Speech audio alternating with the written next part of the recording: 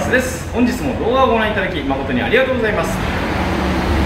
本日ご紹介しますのはホンダ CBR1000WR、えー、こちらのご紹介となります。カラーリングはですねレープソルカラー。そしてねなんといってもね SC57 後期型モデルとなっておりまして各所ですねカスタムポイントも、しっかりとされております、えー、早速ですねご紹介していきたいと思います。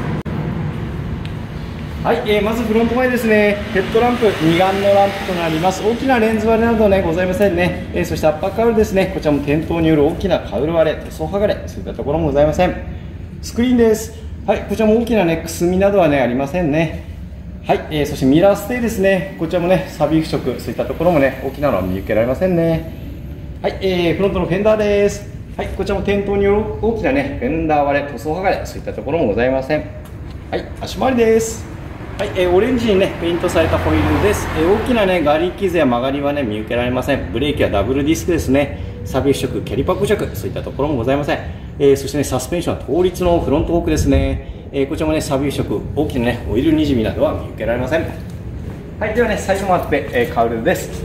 はい、えー、レプソルのねロゴがしっかりと入っております、え、もちろんですがねカウル大きなね割れ、え、塗装剥がれそういったところもね見受けられませんね。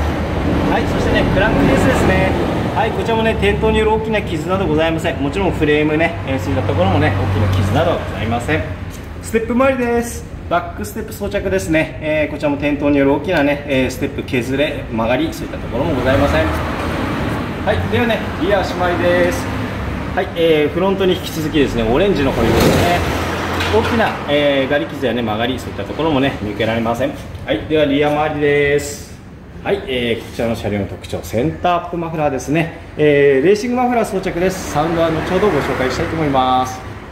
はい、えー、反対回ってシートですね。フロントシートタンデムシートともに大きなね破れや切れございません。はいそしてタンクです。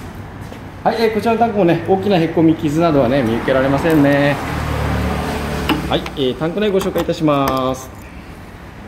はい、えー、タンク内こちらも大きなねサービス色は出ておりませんね。はいではですねエンジン始動いきたいと思います。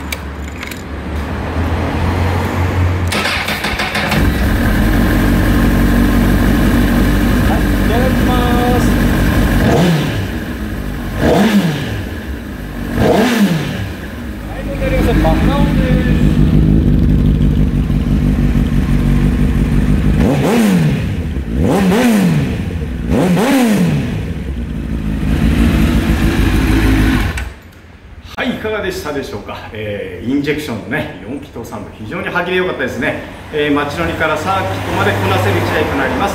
ぜひ CBR センター WR お探しの方お問い合わせをお待ちしております。